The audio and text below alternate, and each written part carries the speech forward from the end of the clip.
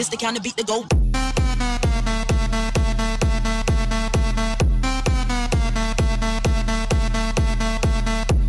Hey guys, what's going on? My name is Joey, and today we are here for a brand new strategy for Clash Royale. Now, this strategy is called the GPS attack strategy. Now, that stands for Giant, Prince, and Spear Goblin. You could say GPSG, but we're not going to do that.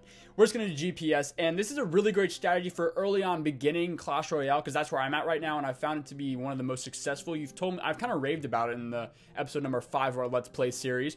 But let's go ahead and check out my deck. So this is my current deck. I have a level three Knight, level three Goblin, level three Bomber, level three Arrows, level 2 Fireball, level 2 Giant, level 3 Spear Goblin, and a level 1 Prince. So this strategy right here is just really these bottom three portions, and they're pretty killer. So what I really do here is I use my Giant as my basic shield, my Spear Goblins as my mini support guys. They don't, they're really cheap, so I can deploy a lot of them really quick. And then I also have my Prince, which is just basically my heavy damage dealer. So let's go ahead and dive into the arena here. So if we go ahead and go straight to the battle, we'll get our first kind of look at how this strategy works. So the best case scenario is when you get a, a giant and a prince straight in your deck right away. Right here, I don't have that, so sometimes you can kind of wait and save. So I'm going to go ahead and throw my knight and goblin. Let me go ahead and say good luck to this guy because that's how I like doing it.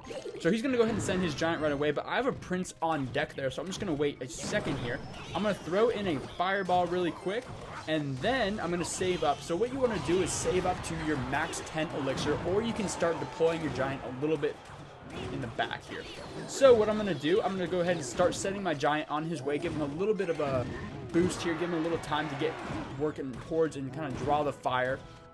And then here is our prince. So I'm going to wait just a second here, send in the prince over. Now we just lost a tower, which is not the best, but we should be able to handle it pretty good. I'm going to go ahead and throw in some goblins over here to go ahead and help support and take down this musketeer for me. As you can see on the upper right corner, this prince is just dealing a ton of damage, and the giant's just soaking it all up from these towers. So if we go ahead and throw in a bomber to help support here, we got some little guys on the left working here, and we're doing pretty darn good. If we send in our bomber on the right side now, he's going to help take down them a little bit quicker, and there you go, we got the triple crown. So the key here, like I said, the Giant's going to soak up all the damage, the Prince is going to deal the damage, and then your Spear Goblins are pretty much just in the back for basic support or to just draw fire. So that's pretty much the GPS strategy. I really hope you enjoyed it, guys.